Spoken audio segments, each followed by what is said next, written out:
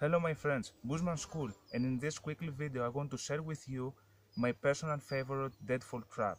I call lever deadfall trap. It's very effective, very simple and the only you need is two sticks with one small stone. If you want, stay with me.